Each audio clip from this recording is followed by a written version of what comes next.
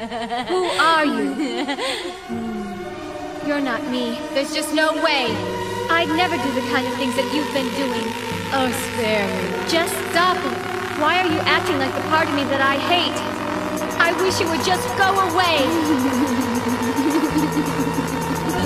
away.